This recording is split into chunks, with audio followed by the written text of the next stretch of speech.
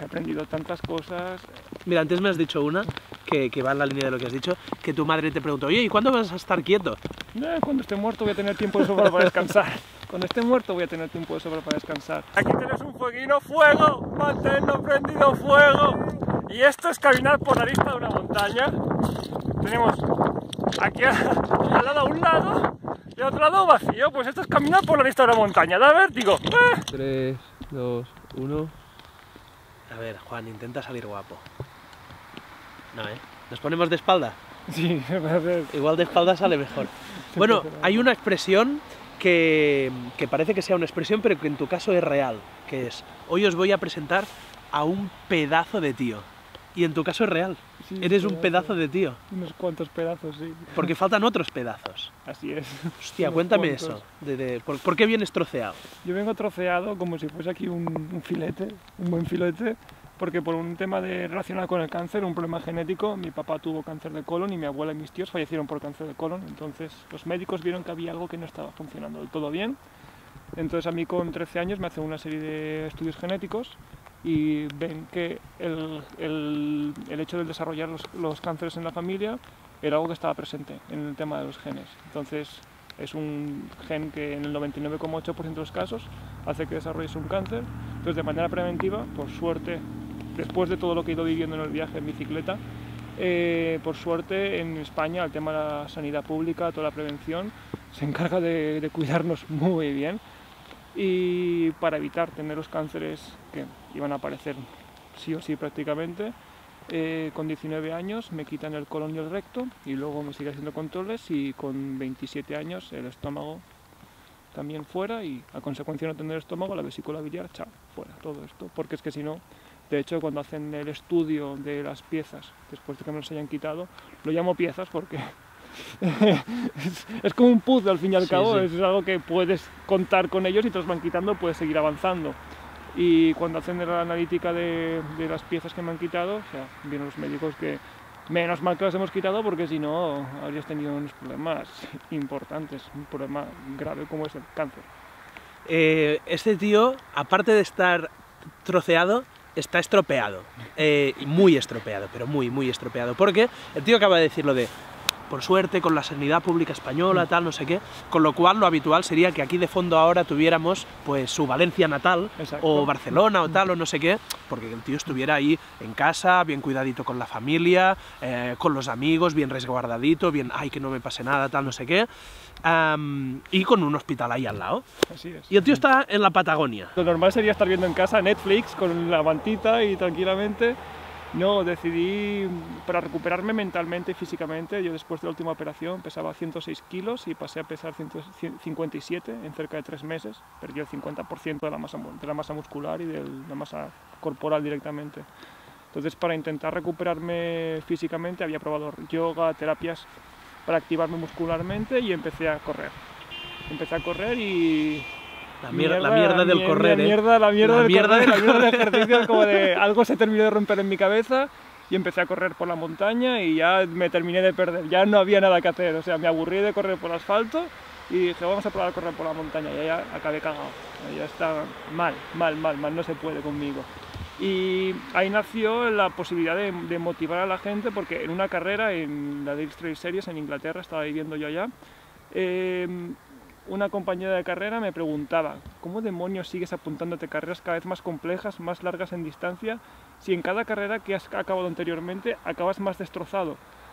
Y ahí yo normalmente no explicaba por qué venía a correr y decirle, oye, soy Juan y me pasa esto, esto, esto y vengo a hacerlo. No, yo corría porque antes no podía correr. Por simplemente porque no podía correr, estaba corriendo y era feliz y ya está y me apuntaba a la siguiente. Y entonces le dije, mira, me pasa esto, esto, no tengo estas piezas, pero puedo correr y voy a hacerlo. Y me dijo, ay mierda. Y yo vengo cabreada como una mona porque ahora mismo en la carrera se me ha roto una uña de la mano y tú me acabas de decir que te faltan todas estas piezas y vas a seguir corriendo. Y yo, sí. Y entonces ahí fue cuando en mi cabeza hizo algo de clic y fue como, gracias a, me motivaron a motivar, fue como que, oye, tu historia es suficientemente loca como para que no corras solamente, sino que muestres que corres. Entonces ahí fue cuando nació una idea muy loca, que fue la de viajar en bicicleta, hacer un viaje en bicicleta, cruzar. Yo estudio enfermería y sabía que iba a hacer un voluntariado en Nicaragua y decidí, mira, voy a estar en Nicaragua, tengo el viaje, tengo el billete, mira, me voy allá en bicicleta y cuando acabe el voluntariado me voy desde Nicaragua hasta Ushuaia en bicicleta. ¿Qué qué? Tú estás tarado y no sé, ¿por qué no? 10, 12 mil kilómetros. ¡Ah, la madre que lo parió!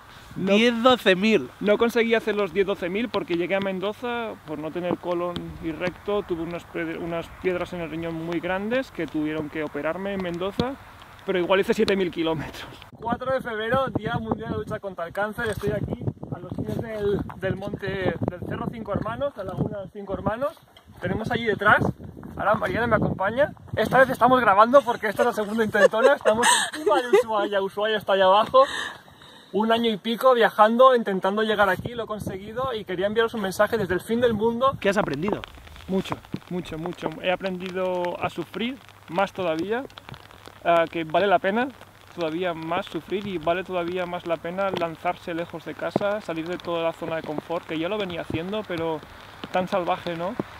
Y es como, mierda, voy a hacerlo durante toda mi vida hasta que algo se me lleve por delante porque es hermoso, visitando hospitales, escuelas, compartiendo la experiencia de que si yo puedo hacer este tipo de cosas, de que no somos capaces cada uno, Uf, he aprendido tantas cosas. Mira, antes me has dicho una que, que va en la línea de lo que has dicho, que tu madre te preguntó, oye, ¿y cuándo vas a estar quieto? Eh, cuando esté muerto voy a tener tiempo de sobra para descansar. Cuando esté muerto voy a tener tiempo de sobra para descansar. Es un poco radical como suena, pero realmente te das cuenta. Yo he pasado dos veces por quirófano de manera muy importante, con el intestino grueso y con el estómago luego. En ambas cirugías está a punto de morir de manera diferente. Y entonces como que la vida me ha rebotado y es como que ya no hay nada más. O sea, solamente quiero llenarme de experiencias. De, si tengo que, que sufrir escalando, voy a aprender a escalar y salir constantemente de la zona de confort. Ahora, estoy muy cómodo aquí, vale. Es que no tengo gran cosa más que aprender. Voy a sufrir en otro lugar. Y es algo que engancha. El otro Todo día hice engancha. un vídeo del, del miedo. Me encantó, me encantó. Si algo quieres hacerlo, hazlo. Y si tienes miedo, hazlo con miedo. O sea, hazlo constantemente porque realmente las cosas buenas de la vida te enseñan muchas cosas, son muy divertidas, se nos queda mucha ah, la foto, la foto de oye, qué bien estoy pasando haciendo surf, qué bien estoy pasando aquí, la foto esta que nos hacemos de la playa, que se ven aquí, parecen salsichas de Frankfurt. Son muy lindas, pero realmente de las cosas complicadas, de las cosas jodidas, de qué te voy a contar a ti, la gente que, que- te ve, que te sigue, cuando nos ven llorando, nos ven sufriendo, de esas cosas realmente de las cuales sacas herramientas para luego en otro momento complicado, en otro, otra putada que te plantee la vida, vas a poder decir, oye, yo he estado a través de esto, ah, no, voy a poner los cojones aquí y voy a darme para adelante. Y esa es la parte más importante, yo creo.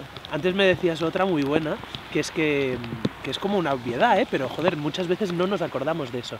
Que es, oh, cuando ganas, cuando sale bien, cuando hay victoria, qué guay, pero donde se aprende es cuando te pegas una hostia. Sí, las caídas, las caídas, el saber levantarte, en el momento en que sabes levantarte, tienes los cojones de levantarte, decirte, oye, no me voy a quedar aquí. Porque podrías quedarte, decir, me he caído, es como, ay, me duele mucho. Me duele, pero voy a levantarme y voy a seguir dando guerra. Voy a seguir dando guerra. Esas cosas son que realmente hacen que valga la pena esto. Y, y con el tiempo te acabas dando cuenta de, de por qué te habías metido esta hostia. ¿eh? O sea, en ese momento no sabes por qué te estás lamiendo las heridas y tal, y piensas, ¿y por qué ahora esto tal? Y al cabo de días, semanas, a veces meses y a veces años, Sí, no, dices, vale, No sabes en qué momento es como, ¿y esta hostia por qué me ha venido ahora? No, empiezas a intentar analizar, ¿y esto por qué está sucediendo? ¿Por qué está...?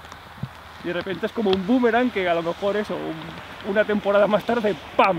Era por esto. ¡Ah, mierda! Vale, gracias. Oye, ¿y te arrepientes más de cosas que hayas hecho o de cosas que hayas dejado por el camino por hacer o que, o que digas, ay, quizá no me he atrevido a esto o a lo otro? Yo creo que todo sucede por algo, todo tiene un, un motivo, es lo que estamos haciendo el boomerang, todo, todo vuelve de alguna manera, entonces yo no me dejo nada, no me dejo nada en el tintero. Eh, entonces, si no ha surgido en ese momento es porque surgirá en otro momento o porque no tenía que suceder. Pues no, no me arrepiento de nada, o sea, me quedo encantado con lo, que, con lo que estoy experimentando, con lo que estoy viviendo. Entonces, y arrepentirme, no. Oye, Dualcillo, em, Dime, San Juan.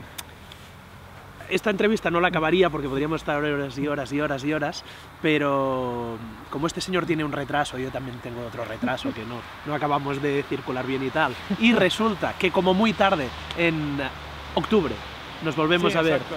en Euráfrica, Sí, pues dejamos ahí para el siguiente capítulo. No, genial. ¿eh? Sí, vamos a, no van a faltar las aventuras. Para ese día igual llamo a mi abogado. Me parece bien. ¿eh? El diablo. el que tengo ahí colgado. Dios, he salido de tarjeta, me voy, me voy de aquí. He pensado, a ver si se la cuelo. Al Digo, rincón de está. pensar, me voy Venga, al rincón de pensar. Vamos Digo, pa' allá. mía. Hostia, que te haya colado esto. Como si te hubiera dicho, ¿qué, qué horas son las 5? Por el culo te la digo, hombre, pero- que las, las bromas estas tengo que retomar. tío. ¿Sabes que estaba las bromas españolas? Como de- la única que tengo ahí recordada y bastante pendiente es la del por el culo.